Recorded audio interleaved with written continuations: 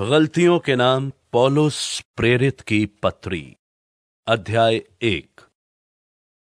पौलुस की, जो ना मनुष्यों की ओर से और ना मनुष्य के द्वारा, वरन यीशु मसीही और परमेश्वर पिता के द्वारा, जिसने उसको मरे हुओं में से चिलाया प्रेरित है, और सारे भाइयों की ओर से, जो मेरे साथ हैं, गलतिया की कलीसियाओं के नाम, परमेश्वर पिता और हमारे प्रभु यीशु मसीह की ओर से तुम्हें अनुग्रह और शांति मिलती रहे।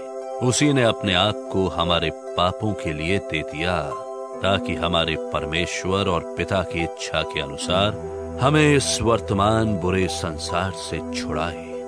उसकी स्तुति और बढ़ाई युगानुयुग होती रहे।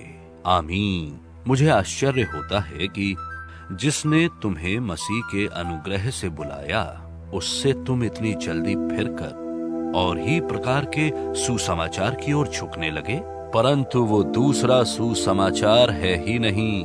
बात ये है कि कितने ऐसे हैं जो तुम्हें घबरा देते और मसीही के सुसमाचार को बिगाड़ना चाहते हैं। परंतु यदि हम या स्वर्ग से कोई दूत भी उस सुसमाचार को छोड़, जो हमने तुमको सुनाया है।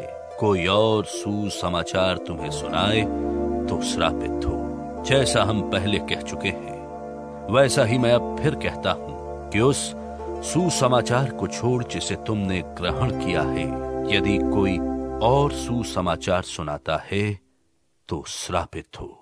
अब मैं क्या मनुष्यों को मानता हूँ या परमेश्वर को?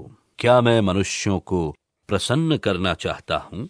यदि मैं अब तक मनुष्यों को ही प्रसन्न करता रहा तो मसीही का दास ना होता।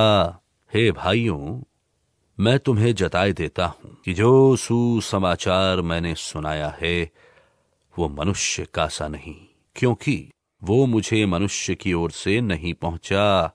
और ना मुझे सिखाया गया। पर यीशु मसीह के प्रकाश से मिला।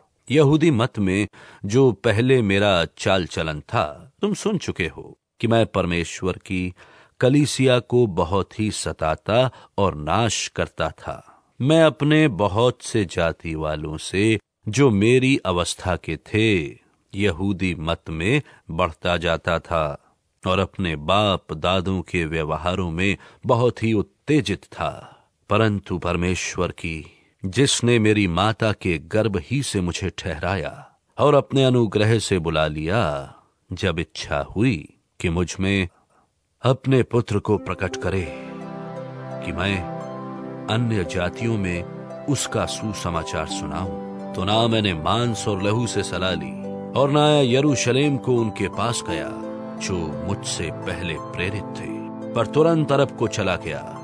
और फिर वहाँ से दमिश्क को लौट आया। फिर तीन बरस के बाद मैं कैफा से भेंट करने के लिए यरूशलेम को गया और उसके पास पंद्रह दिन तक रहा। परंतु प्रभु के भाई याकूब को छोड़ और प्रेरितों में से किसी से ना मिला। जो बातें मैं तुम्हें लिखता हूँ, देखो, परमेश्वर को उपस्थित जानकर कहता हूँ कि वे झूठी नहीं इसके बाद मैं सूर्या और किलिकिया के देशों में आया। यहूदिया की कलीसियाओं ने जो मसीह में थी, मेरा मुँह तो कभी नहीं देखा था। परंतु यही सुना करती थी कि कि जो हमें पहले सताता था, वह अब उसी धर्म का सुसमाचार सुनाता है, जिसे पहले नाश करता था। और मेरे विषय में परमेश्वर की महिमा करती थी।